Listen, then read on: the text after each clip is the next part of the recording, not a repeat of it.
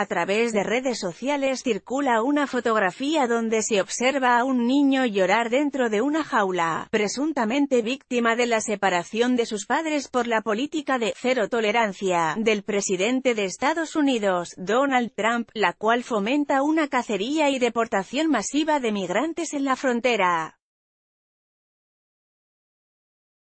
Quién es en realidad, sin embargo, esa imagen es falsa y tiene una historia fuera de contexto. El periodista José Antonio Vargas publicó dicha fotografía la semana pasada en su Twitter con el mensaje, esto es lo que pasa cuando el gobierno cree que las personas son ilegales.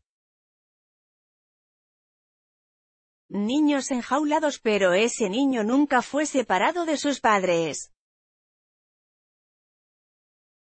Leroy Peña, jefe del capítulo de Brown Fort Worth en la organización Brown Berets, dijo en entrevista para CNN que tomó unas fotografías del menor de edad y las publicó en Facebook con la siguiente leyenda. Esto fue parte de nuestras protestas de ayer, pero esto está sucediendo en este momento, en centro de detención infantil en todo el país.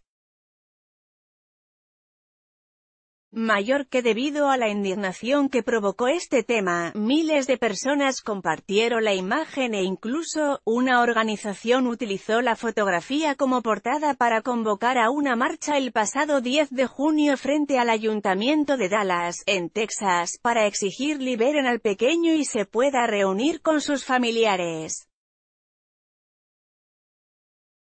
Resulta que el pequeño empezó a llorar porque no vio a su mamá, y a los 30 segundos sus familiares lo sacaron de una jaula que solo era para la manifestación. Peña lamentó que sus amigos en Facebook compartieron la imagen sin especificar el contexto verdadero, lo cual provocó una ola de desinformación, mayor que podría interesarte, están drogando a los niños inmigrantes en las jaulas de Estados Unidos de América, la verdadera historia de la niña que llora. Frente a la patrulla fronteriza indicios nazis en la política de separación de familias inmigrantes de Trump, Gustavo Pineda periodista muy guerrerense, Michoacán me adoptó en el 2008, pasé por las llamas del Estado de México y llegué al paraíso de la CDMX.